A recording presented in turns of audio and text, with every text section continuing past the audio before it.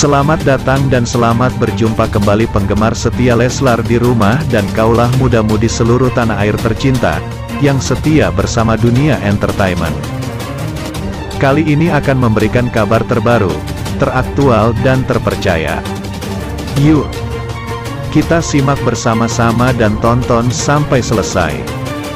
Namun sebelum kalian bergabung dengan channel ini, Marilah bergabung bersama-sama dengan cara subscribe, like, komen dan share sebanyak-banyaknya, serta aktifkan lonceng notifikasinya, agar kalian senantiasa mendapatkan kabar menarik penuh sensasi. Yuk!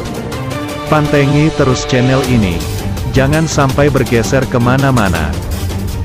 Semoga kalian senantiasa diberikan kesehatan dan kemurahan serta keberkahan rizki oleh Tuhan Yang Maha Esa. Amin.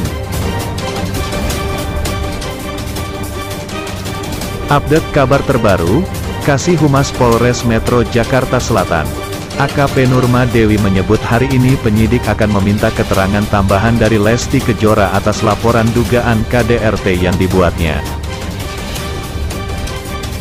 Hari ini juga untuk Saudara L Polres Jakarta Selatan telah memanggil atau meminta keterangan Saudara L, kata AKP Nurma Dewi saat ditemui di Polres Metro Jakarta Selatan, Sabtu, tanggal 8 Oktober tahun 2022.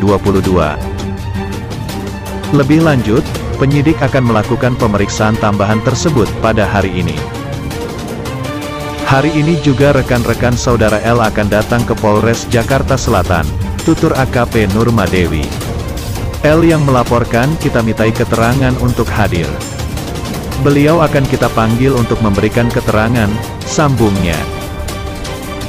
Sebelumnya, Rizky Bilar tak datang saat panggilan pertama dari Polres Jakarta Selatan terkait laporan sang istri, Lesti Kejora, atas tuduhan KDRT.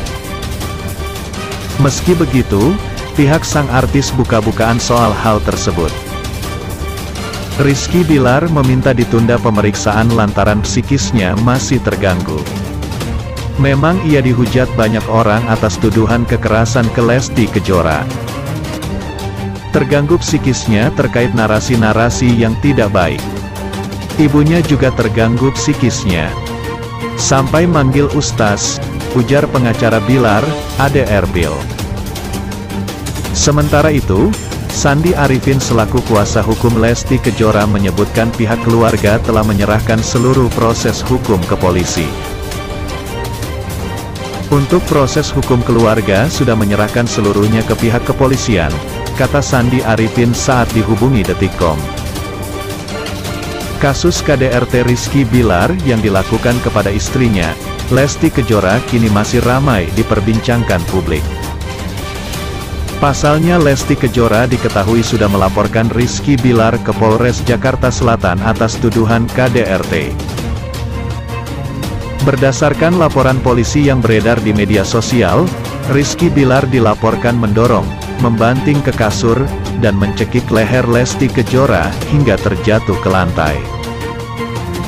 Ironisnya perlakuan kasar Rizky Bilar tersebut dilakukannya berulang-ulang. Bukan tanpa sebab, KDRT tersebut terjadi usai Lesti Kejora mengetahui perselingkuhan yang dilakukan suaminya, Rizky Bilar.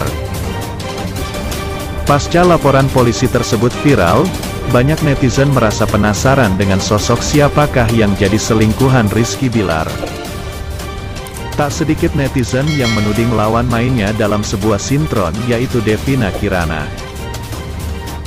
Devina Kirana merupakan aktris yang berperan sebagai kekasih Bilar dalam sinetron Jodoh Wasiat Bapak Babak 2. Jempol gersep netizen pun mengumpulkan sejumlah bukti yang disinyalir menunjukkan adanya perselingkuhan di antara keduanya. 1. Caption di Instagram dituding kode. Devina Kirana tak jarang mengunggah foto di Instagram pribadinya dengan caption yang mengandung kebucinan. Cuma mau bilang I love you, ujar Devina dalam caption. Hi you, I miss you, katanya dalam caption unggahan yang lain. Netizen menilai sejumlah unggahan Devina Kirana di Instagram adalah kode untuk Rizky Bilar. Dia bilang I love you di bulan Juli pas ulang tahun Bilar, terus dia pakai bajunya warna marron juga, ujar pemilik akun Instagram @indah.julita14. Oh ini yang sering kode-kode kangen, tapi enggak pernah dispil siapa orangnya, kata pemilik akun @sukmauti. 2. Dituding kabur ke Singapura. Ketika kabar KDRT menerpa rumah tangga Rizky Bilar dan Lesti, Devina Kirana tengah berada di Singapura. Aktris ini membagikan sejumlah momen menyenangkan di sana. Kepergian perempuan kelahiran tahun 1994 ini ke Singapura dituding netizen sebagai pelarian. Abis selingkuh langsung kabur ke Singapura, waktu Lesti Kejora lahiran dia sengaja keluar negeri juga. Pas dia up foto lagi pakai baju putih kayak pengantin. Dia bilang kangen sama seseorang terus langsung di like sama Rizky Bilar. Pantes si Bilar takut banget kalau Lesti dekat-dekat circle-nya ternyata si tepung Roseben ini selingkuhannya, tutur pemilik akun Instagram at amrigeral5434. 3. Memakai cincin diduga couple dengan Bilar. Dalam unggahannya, Devina terlihat memakai cincin di jari manis. Cincin itu diduga merupakan cincin yang sama dengan pria yang kerap disapa Bilar. Kayaknya beneran deh soalnya cincin couple-nya ada. Lihat aja foto-foto Bilar dan story cewek ini, cincinnya sama. Bilar pakai cincin di jari telunjuk, kata pemilik akun @ociseptiani 1909. 4. Unggahan disukai Rizky Bilar. Pada tanggal 12 Agustus tahun 2022, Devina mengunggah fotonya yang memakai gaun putih layaknya busana pengantin. To my five person. I miss you even I can't meet you, ujarnya dalam caption unggahan tersebut. Menurut netizen, unggahan tersebut satu-satunya yang disukai oleh Rizky Bilar. Mana yang di like cuma foto ini aja lagi? Gimana warganet enggak penasaran? Kalau semisalnya benar Neng ini selingkuhannya gila sih Neng keterlaluan banget, tutur pemilik akun @peterkreptri.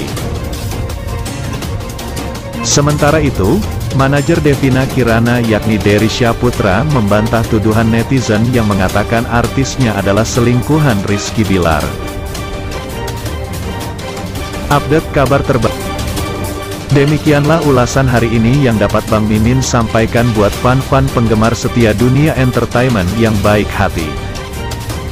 Jangan sampai terlewatkan fans-fans semuanya. Mohon maaf atas segala kekurangan. Dan terima kasih atas segala perhatiannya. Sampai jumpa di segmen berikutnya. Yuk, bye-bye.